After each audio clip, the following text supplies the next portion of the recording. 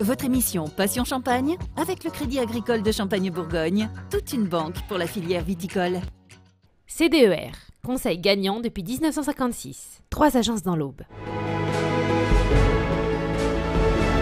Grâce à Capsé, plus de 80 caves ouvrent leurs portes ce 31 juillet et 1er août dans les terroirs de la Côte des Bars, Villenox ou ici, à Mongueux. Cette commune a accueilli la route du Champagne en fête en 1999 au vu du nombre de visiteurs, ce rendez-vous serait trop difficile à réorganiser ici, d'où l'intérêt de mon week-end en Champagne. Ce week-end-là, c'est un moyen de participer aussi à l'effervescence euh, qui est générée par Capsé euh, et de montrer une très grande diversité dans les terroirs de, Champagne et de l'Aube. Ici, à Meurville, cette vigneronne était confrontée à la même difficulté. Parce que moi j'ai une toute petite structure, donc je ne peux pas ouvrir ma structure avec 40 000 visiteurs, c'est pas du tout euh, les mêmes proportions. Et là, ce coup-ci, euh, mon week-end en Champagne, c'est l'occasion pour moi de faire euh, voir ma petite structure. On expédie des bouteilles par la poste, mais moi j'ai envie de les accueillir cette fois-ci chez moi. Chaque cas va imaginer sa programmation selon ses moyens et ses goûts. L'application ID Visite permet de faire de même et de personnaliser son parcours. Géolocalisé et qui permet physiquement d'aller visiter les 84 caves qui sont ouvertes et avec toutes les animations qui sont mises en place. Ben, nous, on va avoir deux artistes peintres en bas. Ici, sur la place, un traiteur qui fait des burgers maison qui va venir,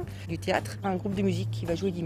Ce week-end permet de découvrir la diversité du monde viticole au bois. Chaque participant a pu se fédérer autour de cet événement commun, quel que soit le nombre de bouteilles assemblées par an. Beaucoup de gens qui sont autour de 15-20 000.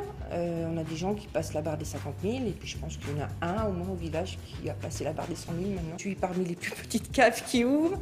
Euh, mais il y a aussi euh, plein de personnalités aussi. Finalement, la Champagne est multiple. Il y a un côté traditionnel, patrimonial aussi dans le fait de remuer les bouteilles à la main qui est, qui est intéressant de conserver. Ça peut être l'opportunité pour les Troyens qui n'osent pas venir sonner à notre porte de, de, le faire puisque là il n'y aura même pas besoin de sonner. C'est l'opportunité aussi pour nous de capter aussi une petite partie du, du tourisme qu'il peut y avoir à Troyes. On est des gens abordables et surtout pour la partie euh, dégustation, accompagnement du champagne, c'est un produit qui, euh, qui supporte la simplicité. Du côté de la réglementation sanitaire, le port du masque est déconseillé lors de la dégustation.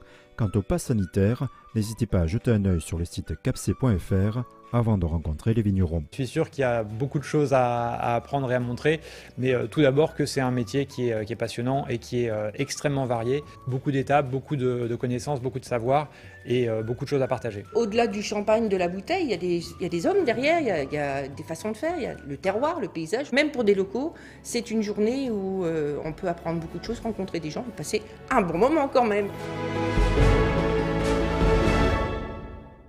CDER, expertise comptable et conseil pour les viticulteurs. Votre émission Passion Champagne avec le Crédit Agricole de Champagne-Bourgogne, toute une banque pour la filière viticole.